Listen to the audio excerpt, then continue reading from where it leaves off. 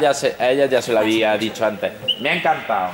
Y entonces me ha encantado ya incluso una cosa que especialmente ha hecho Carmen, y es que eh, los movimientos de algunos, de algunos jugadores lo que hace es que los va pasando con diferentes nivel, nivel alfa o nivel de, de transparencia del jugador. ¿no? Entonces ahí se ve ahí como los jugadores, aquí,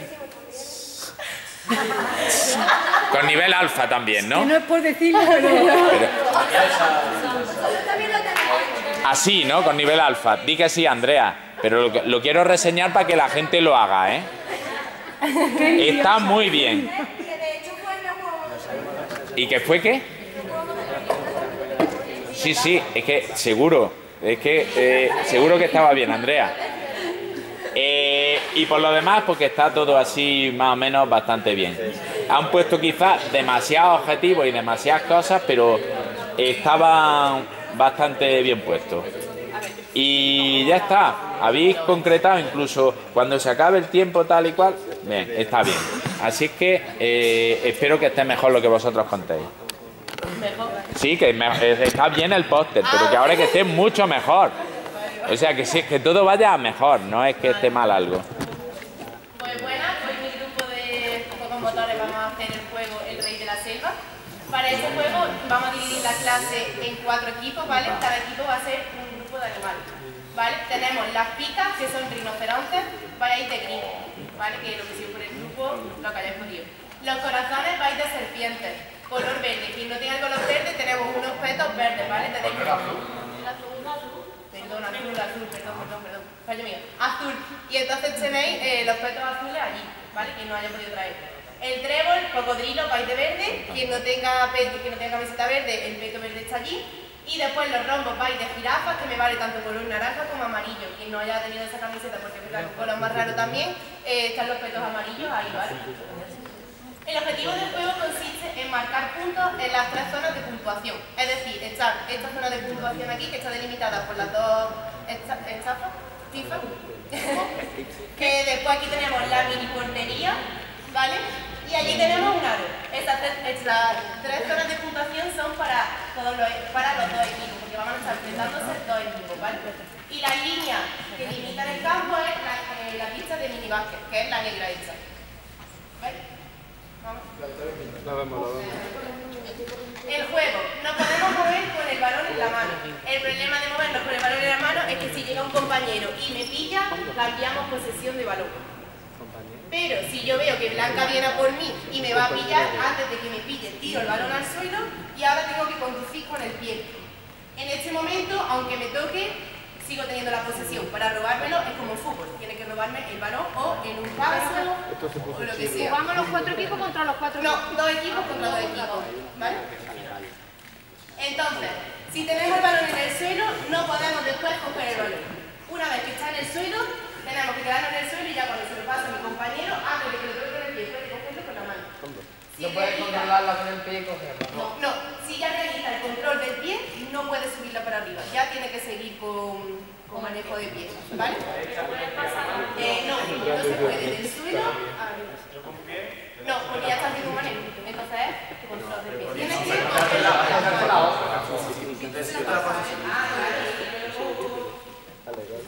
Pero no puedo, para pasar, no puedo cogerla. O sea, yo no puedo subirla y pasarla con la mano. Tengo que pasarla con el pie. ¿Vale? Y después tenemos un balón en el suelo. Si metemos gol dentro del aro, la puntuación es doble. En vez de un punto, tenemos dos puntos. Y si también conseguimos que todos los miembros del equipo toquen el balón antes de meter, también la puntuación sería doble. Es decir, que si la pasamos todos los miembros del equipo y además lo metemos dentro del aro, son cuatro puntos. ¿Vale? Y aquí se, se meterá mirando a portería. Portería, exacto, tirando portería. Una regla importante, ¿vale? Si conseguimos meter en esta parte, en la siguiente acción no podemos meter en esta zona de puntuación, tenemos que meter o en la portería o en el aro. Pero si ahora en la siguiente acción ya metemos en la portería, tenemos tanto esta como esa, ¿vale? Se va como desbloqueando. Las tres porterías. Y el equipo que consiga meter en una zona, ese equipo es la que la tiene cancelada. El otro equipo tiene las tres todavía. También, vale. Sí. Tenemos dos aros por cada campo. ¿Y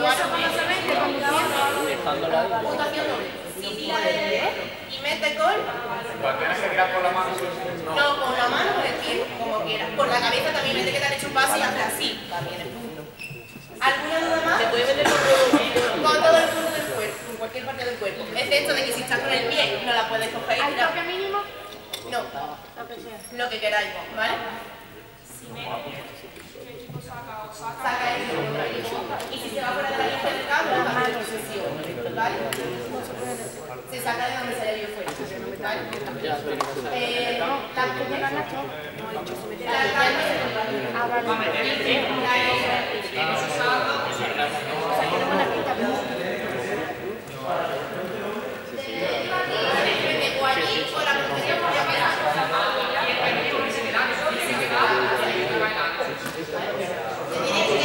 A ver, vamos por aquí, vamos con el balón, si te ves en el arco, pero no te puedes quedar tirando el arco, ¿Alguna duda más? En los aros hay se la pasa. Y aquí te pasa solo. Aquí nada, es una portería. Es una portería. Vale. Los que están en el suelo no son puntuación. O sea, no es una zona de marcaje. Es tú, desde, desde fuera, te dentro y de dentro lanzas y vale doble. ¿Vale?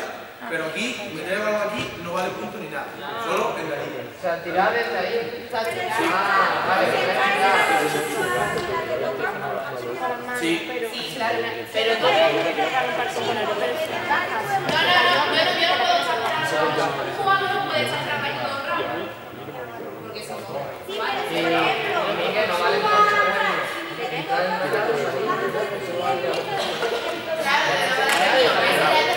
Ay, tú estás en el mismo equipo, ¿no?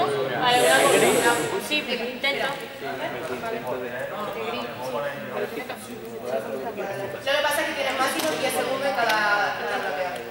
No puedes echar toda la partida. Yo puedo llegar con el balón al aro y tirar. O me la tienen que pasar desde No, fuera. tú puedes, no, tú puedes llegar. Porque tú como balón puedes hacerlo. Vale. Después, chicos, la puntuación tenemos este boxer, ¿vale? Donde cada equipo tiene su monigote. Entonces, cada vez que consigamos un punto, un miembro del equipo va corriendo y se sube o un nivel o dos niveles de, los puntos que haya metido. ¿Vale? Y al final del tiempo veremos a ver gana, ¿vale?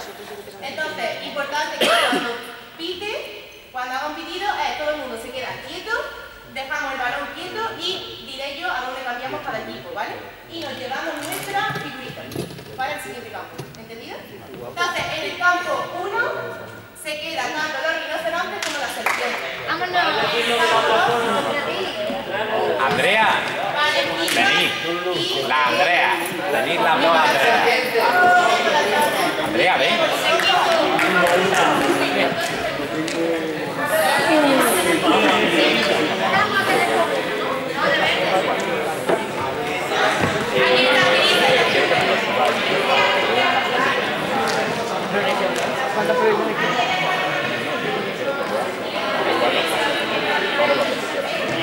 Hazlo